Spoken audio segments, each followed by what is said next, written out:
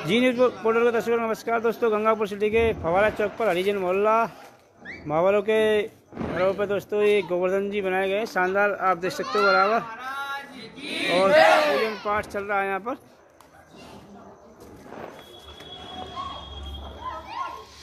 और पर्वत को पर्वत उठाते हुए गोवर्धन जी बनाए गए हैं यहाँ पर।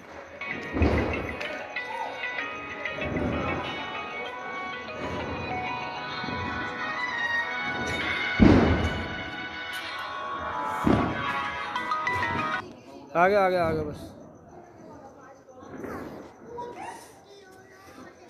गोवर्धन जी के पर्वत उठाते हुए गोवर्धन जी बनाए गए हैं और दोस्तों पूजन शुरू हो चुका है अब।